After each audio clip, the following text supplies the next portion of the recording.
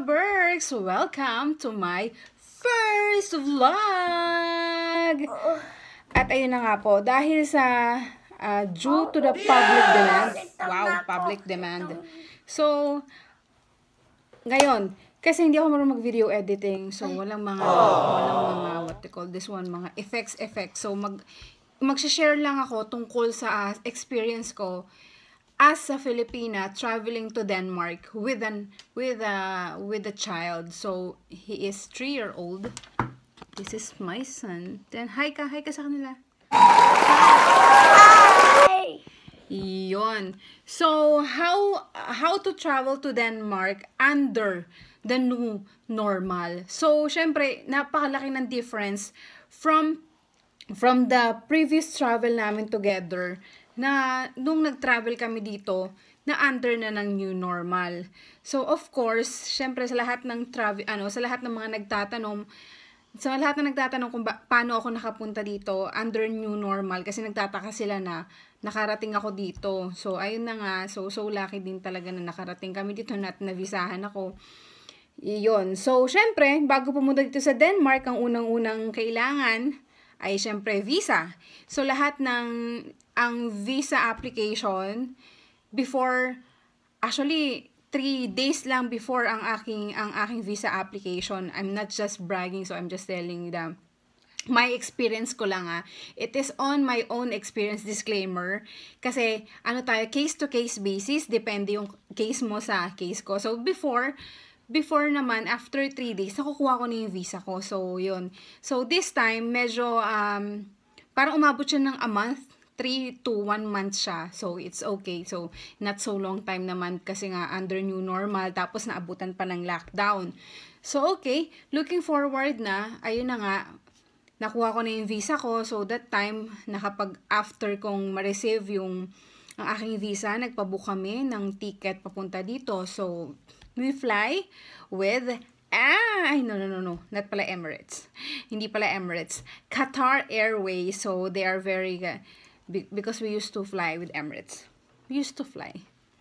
Ayun na nga. Anyways, ayun. So, Qatar Airways, we, we flew from Philippines to Denmark last August. August, la, last August. I forgot what is the exact date. Sa August kami nakapag, naka, nakapunta dito sa, sa Denmark. So, first thing, when you arrive in the airport, of course, hindi na siya katulad dati na hinahatid talaga ako ng aking mga pamilya uh, sa airport, family, you know, alam, alam mo naman kasi aalis, ganun. So, that time, very minimal lang yung, konti lang yung nag, naghatid sa akin, do marami pa din, mga tatlo, apat yata sila. So, yon When you arrive in the airport, Sulat. especially, okay, Sulat. gusto daw niya magsulat.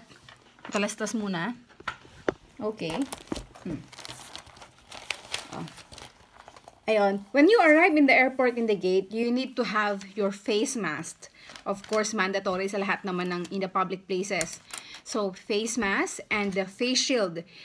Kung kaya ng bata mag-face shield tsaka face mask, ina, kailangan, pwede. Pero if it is not, of course, sa mga maliliit na batang ganyan, hindi mo sila mapipilitan, mapipilit na mag, mag face mask at saka especially face shield. So, sa Qatar Airways, yon check-in counter. Sa check-in counter kasi, meron sila ngayon, I don't know to the other airlines, but when we flew, uh, when we fly from the Philippines going here in Denmark, mandatory po na meron pong 96 hours uh, COVID-19 test. So, I, but that time, I'm, we really rush na kasi, tas full na yung mga, ano, full, fully booked na yung mga malalapit sa akin na na mga uh, test centers. So what I did, I have one friend from the group uh, who shared with me na merong isang diagnostic laboratory in Pasay near NAIA, which is the Philippine Diagnostic Laboratory. So you don't need to. They they accommodating even you don't have you don't have uh, what they call this one um appointment. Hindi ano, all queue lang sila. They have a, they have a walk-in.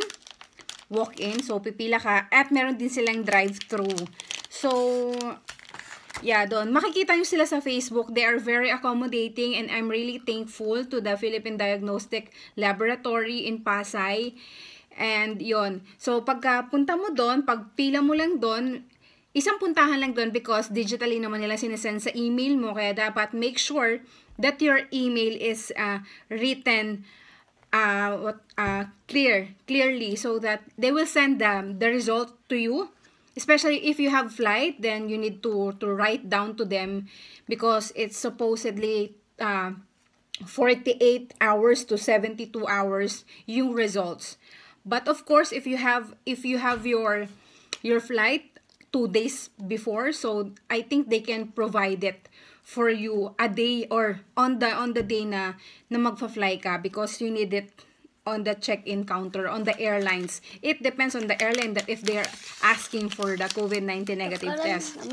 So, sa mga nagtatanong sa akin kung sinwab test din ba yung anak ko, so 12, ang Qatar Airways is 12 years old and below. Sama. It's okay to don't take a swab test kasi nga medyo, medyo, syempre malikot ang ating mga kabataan. Kaya hindi rin nila Mom, thank you. mahirap yun. Welcome. So, ayun na nga. Ay, So, yung 12 years old and below, kahit na ano, hindi na hindi na hindi na nila kailangan na mag-undergo ng swab test, only the the parent or 12 years old and above na magta-travel. So, going back, then after that, when they check in, yun. So, yung Qatar Airways, if you don't have any face shield at all, they providing, meron silang ano, meron silang face shield sa bata at saka sa mga adults. That time, actually, nung nag-fly kami, very, napaka-konti nung mga tao, mga puro OFWs, mga, si, mga seaman, yung mga nakakasabay ko.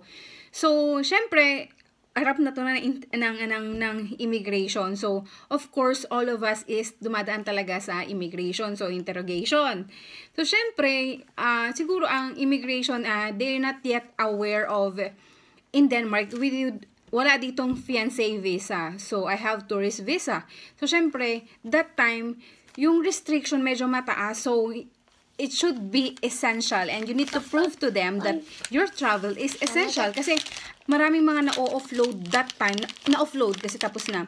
Na-offload that time because hindi daw essential especially yung may mga may mga boyfriend and girlfriend abroad na na papas na bibisitahin nila. So tourist visa that time is is sinasabi nila na non-essential. So though I have a, I have a kid. So, he is dual citizen. So, uh, kaya, syempre, she cannot, he cannot travel alone. So, yun, siguro naging yun yung ano, um, pinaka is naging essential because we're going to visit his father here in Denmark. So, ayun na nga.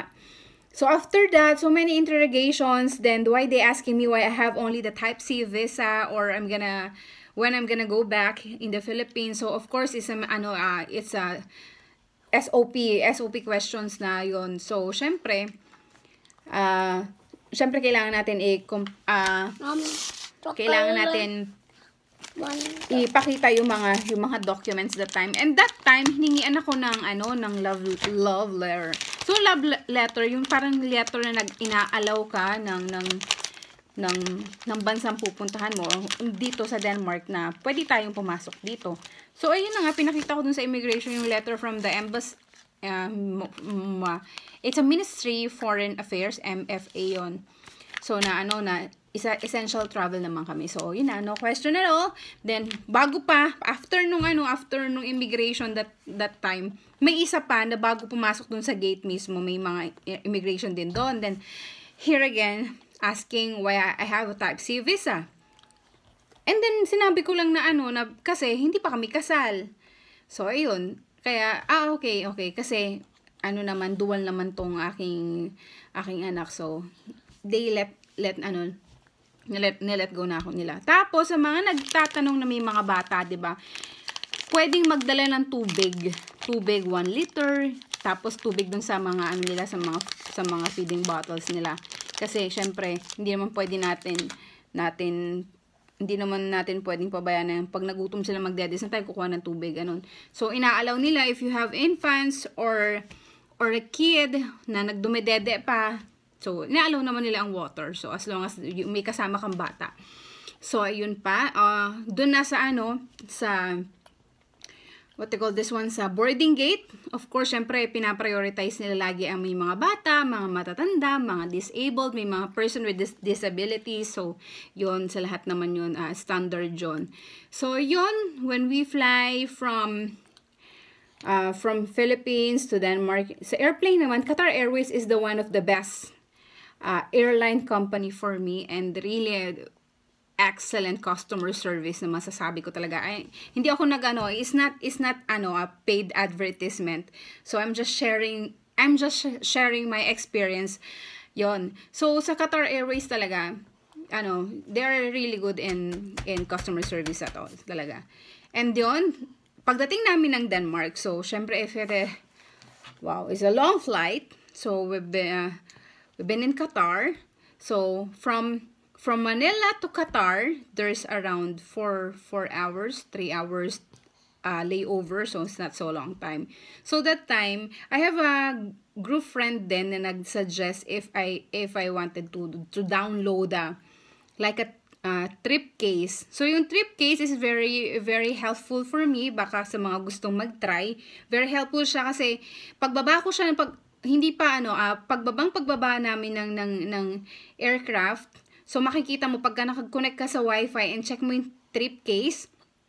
Kasi first time kong gamitin siya. So, ano, I, I a little bit doubt. But of course, you need to be aware of that so you can find it out. So, nakalagay dun yung gate number kung saan kasi yung flight ko. In, ano, in-encode ko dun kung ano yung flight, ano, yung aking flight details. So, nung pagdating namin sa Qatar, nandun na siya kung anong gate number. So, syempre, diretso na ako dun sa, ano, sa, sa gate number na yun. Kasi, dun sa screen, sa screen na makikita na, na i-check mo kung saan kang boarding gate. So, medyo matagal pa, siguro mga an hour or half, what, an hour yata, bago nila nire-reflect kung saan kanilang gate. Pero sa thrift case, ano, 4 hours pa yung layover, di ba? So, doon, pagbaba ko pa lang ng aircraft, may, naka-connect na ako sa wifi. So, nakita ko na kung saan akong gate number. Pero, syempre, I doubt it.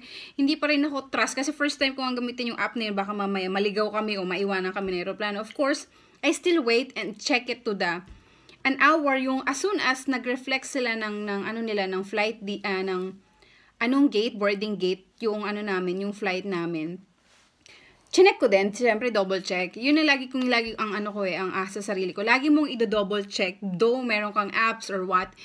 And especially, especially on the, on the, ako kasi si ba sa ngayon talagang lahat ano na digital pero medyo old school pa ako minsan all of my flight details and my ticket and everything I print it out myself and extra you know and extra copy if ever you know something kumalobat yung phone ko or you know hindi na do may power bank or you know, if in case that everything, you know, hindi natin alam. At least meron akong, meron akong hard copy to, to show. Anyway, yun lang, yun lang yung mga a bit uh, advice sa mga, sa mga gusto talaga maging yung parang no, non-hassle flight. So, ayun, pagdating namin ng Denmark dito, so, iba naman yung, that time, it's a, they have, they offering a free COVID-19 test sa mga drive-thru. So pagdating na pagdating pagbabang pagbaba mo ng ano ng ng ng airport, doon after mo makuha yung mga bagahe mo. So, I have a friend also. Thank you. Thank you so much sa mga friend ko na nag, nag we have a group chat kasi then we sharing our ano yung may mga nauna nang nag-fly, yung mga experiences nila nag-sharing. Then I'm sharing it to you based on my experience on myself. So, yon tapos, sinabi niya sa akin kung saan, saang parking area pupunta. So, parking 5 yon Parking 5 for the, for the, uh, what they call this one, drive-through COVID-19 test. Meron din naman silang walk-in, pero it's a really long queue. So, sa drive-through is around, it takes only 10 to 15 minutes and we're finished. So, ayun.